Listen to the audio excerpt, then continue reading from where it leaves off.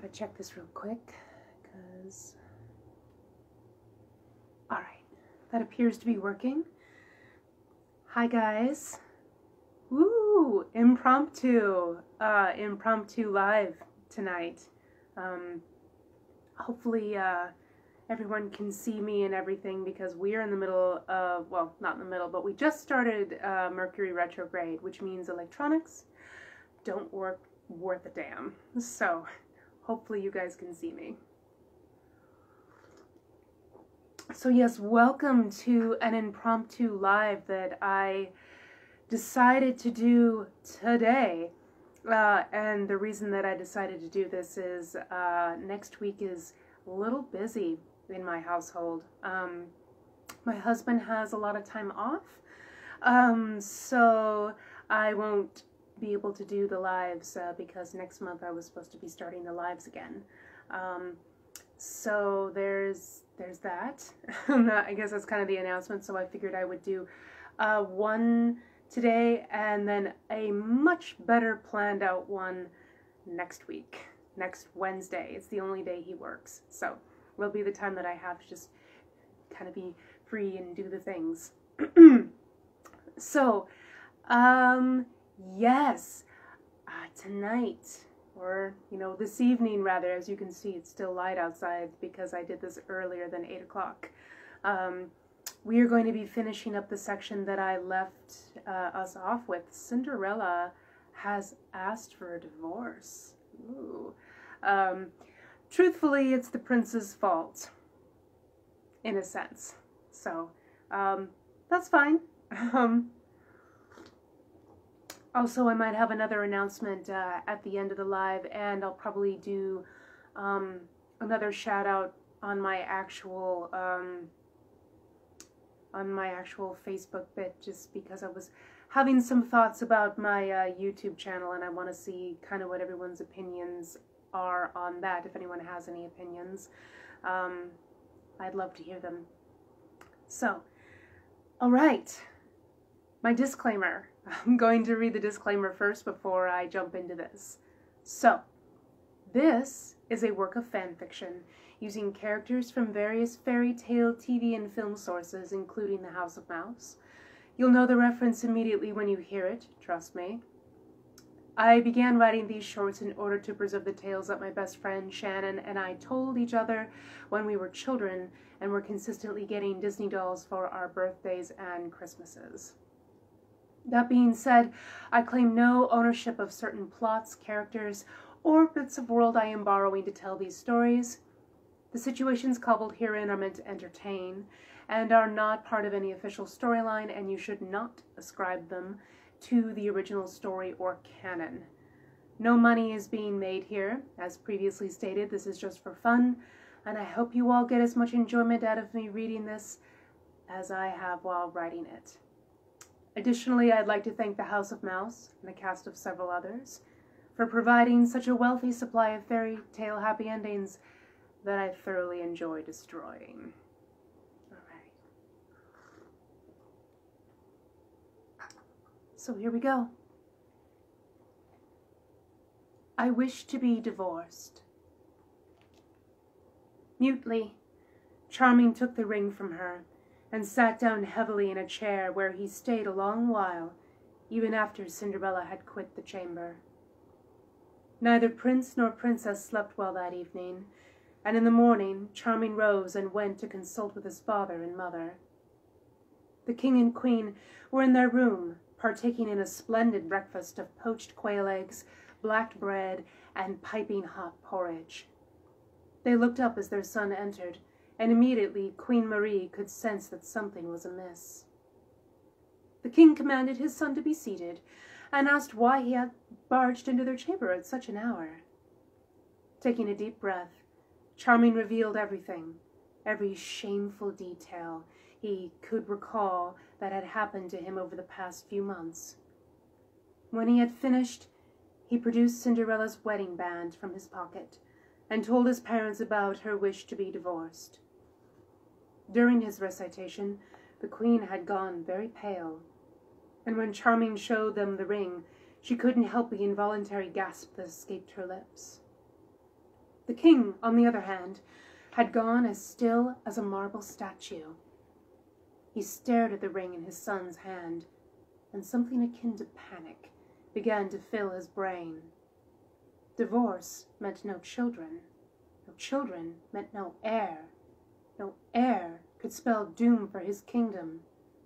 The thought was enough to propel him to his feet, and he began to pace the room, mumbling all the while about how to keep this from happening.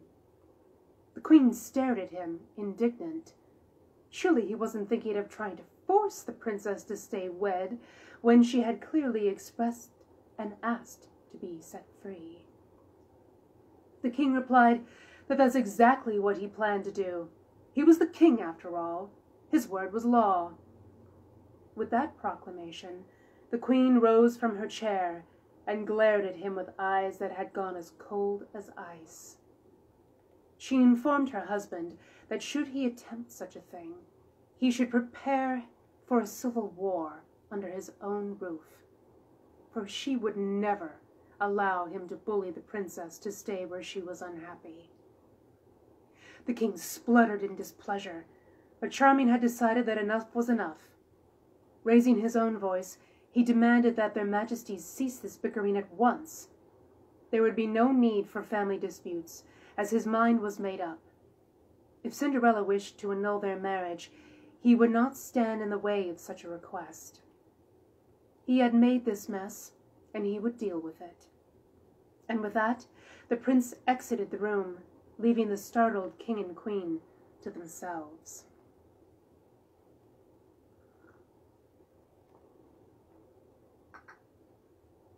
Later that day, Charming met with his father's counselors, and a paper was drawn up detailing the terms of the separation of the prince and princess. The old delegates shook their heads disapprovingly, and more than once one or two tried to dissuade his royal person from going through with this tragedy. But Charming remained unmoved. With a heavy heart, the prince signed the document and handed it off to a servant to be delivered to the princess. Some time later, the servant returned with the paper completed, and the whole affair was finished, as if neither had ever known one another. Before departing, the servant handed his highness a letter penned in Cinderella's delicate handwriting. Inside the correspondence, the former princess thanked him for always being so kind to her. The time they spent as husband and wife would be a memory she would cherish for all time. Instead of half the kingdom he had so graciously offered her in their divorce contract, she opted instead to take with her one small chest of gold and the clothes she had come to the castle with. She had always been a simple girl, after all, and the burden of a kingdom was not a responsibility she wished to undertake. That was his lookout. The letter ended with a fond farewell, and even after Charming had concluded the correspondence, he sat rereading it several times until he could no longer bear it. For inside his mind, a tiny flame of rage against the one who had caused all this misery had begun to take shape. Tara Lynn. Her name echoed in his head like a bolt of lightning. He would go to the ash tree pub and seek out the witch who had enchanted him, and when he found her, he would have her executed for crimes against the crown. Resolved to his cause, Charming made his way to the stables, where he ordered a horse to be made ready to ride, and was off like a shot as soon as the reins were in his hands.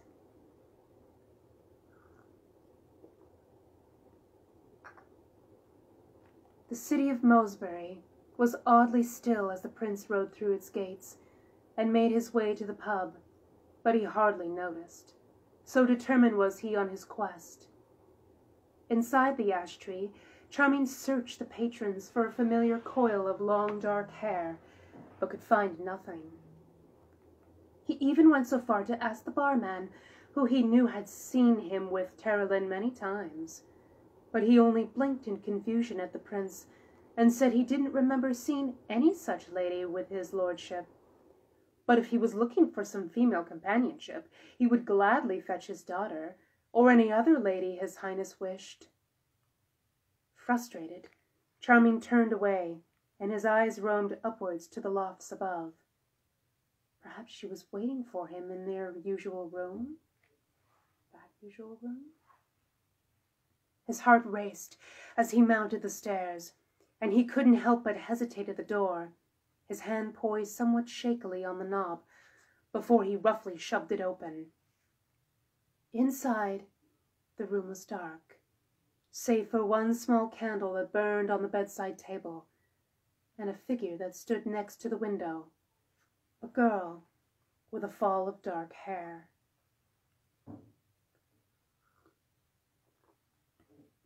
His breath caught, and the sound caused her to turn around slowly.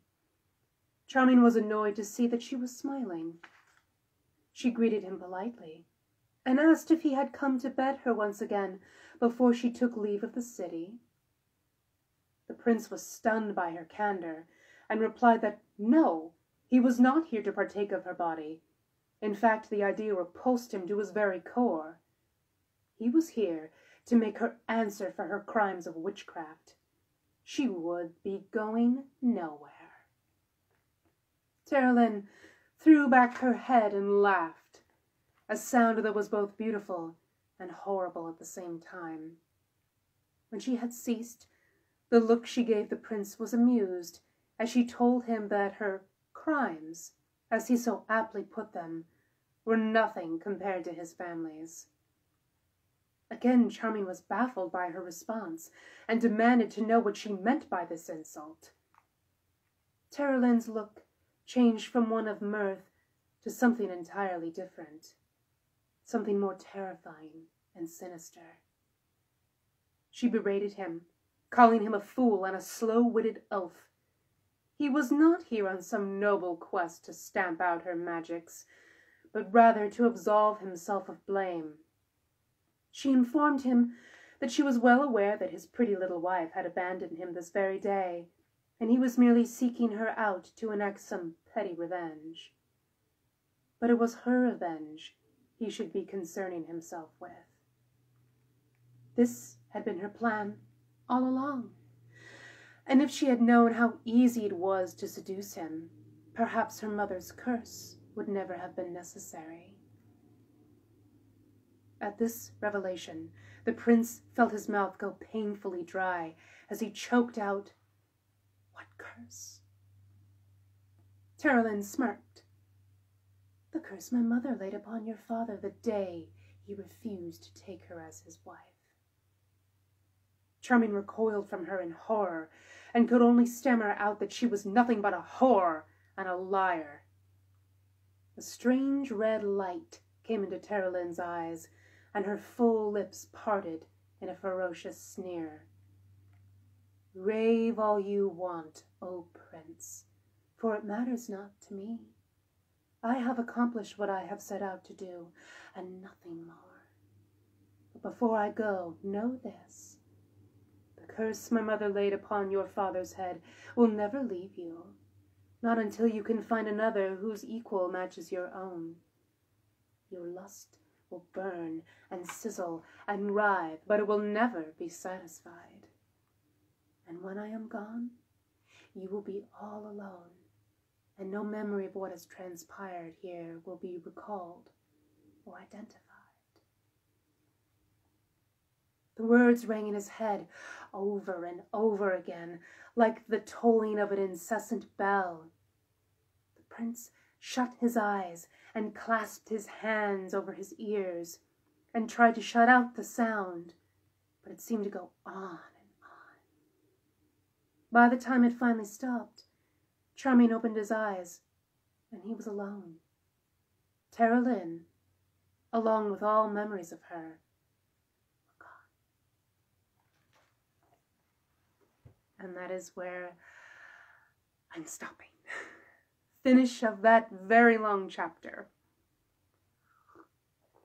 So, as always, if anyone has any questions, comments, snide remarks, uh, you can always pop them up in the chat here, or you can send them in when the live is concluded. I'm still very active on my art page, even during my breaks, and I will answer any and all questions. And if anyone still wants to purchase a copy of my book, Lamentations of the Wood, I have one copy left. Uh, they are $15 each, and uh, you can send me a message either here or on my normal Facebook page if we are friends for real. And uh, we can do the transaction through PayPal and I will send it out to you. So, um, other than that, uh, the last conclusion that I had for uh, this live was uh, about my YouTube channel. So, I kind of started a podcast, kind of, sort of. It's not very, it's one of those things where I start a project and then I immediately just get distracted and do something else. And I swear I don't mean to be like that, but that's just the way it is for me. Um, however, I was thinking that uh, a lot of the readings that I have done over there are more stuff that you listen to instead of watch. So I might be taking the audio and putting it on this podcast instead. Um, and I have the links for that, and I'll probably make a, uh, a link for it on my link T so you can access it a lot easier. I apologize to people that have already subscribed to my YouTube channel already. I know this is another platform for you to like go on and do the things, but at least here you don't actually have to subscribe. You just have to hang out and listen. Um, and you don't even have to, a lot of people, I guess, do it uh, through Spotify. Uh, but I found that Google Podcasts is the way easier way to do it. We all have a Google account. We all have a Gmail well, I shouldn't say all of us, but a good majority of us have that. So you can just access the podcast through there. It's just easier than creating a Spotify account. Unless, of course, you already have one of those, then it's a lot easier. The podcast is called Peeps, and I was using it to vent about random shit. Um, um, and I still will be using it for that, most definitely, but I, I might put the readings up with it. Um, especially because this next month of lives is going to be uh, a little difficult.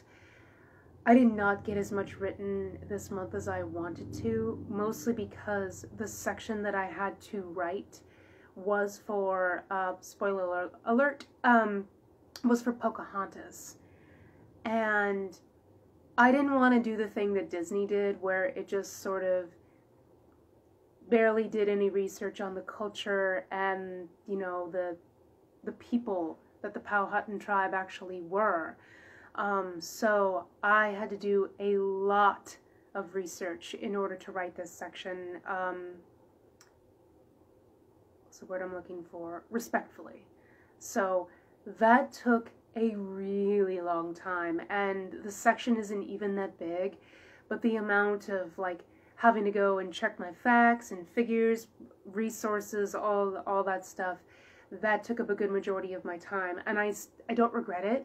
I don't regret doing it because it's worth it to tell Indigenous folks' stories correctly. Um, but it just really slowed me down. So I don't have as much going for this uh, upcoming month as I would like to have. Um, I have some other stories that are sort of waiting in the wings. They were going to be stuff that I read on my YouTube channel, um, but I might switch it to here instead because it is a lot easier for me to schedule a live, get on here, actually do the things instead of recording the things, putting background music to it. Although I love all that stuff because it's very atmospheric, it's very theatrical, and if I screw up, I can, you know, go back and redo the section and make it all sound pretty and perfect, but it is a lot easier for me to be performative here on the live. So I kind of wanted everyone to know what you thought about that. Um, and if you are, if you don't mind the idea of me taking um, the stuff that I've already written on my YouTube channel and putting it to the podcast instead, um, let me know what you think and if you think that that's a good idea because I'm I'm strongly leaning towards doing it and then I will probably make some sort of an announcement on my YouTube saying that that, um, that section is probably going to be closed. I will keep a few up uh, that are visually stunning and all that all that jazz and stuff like that but I, I think I do want to switch over but let me know um, what you guys think about me doing that because I know it's another platform, it's another jump, and I should just really stay consistent because that's a lot easier. But YouTube is a visual medium, and what I do is verbal, and that's a lot different than this, well, than that. So that was all I had for tonight, guys. So hopefully, hopefully, this all recorded um, uh, because retrograde. Uh, but yes, I will see you guys next Wednesday um, for the section that I have written. Uh, we'll be getting into the Pocahontas section of the story, and I hope I did it well and correctly. That's all I have for this evening. Um, I'll see you next week, guys.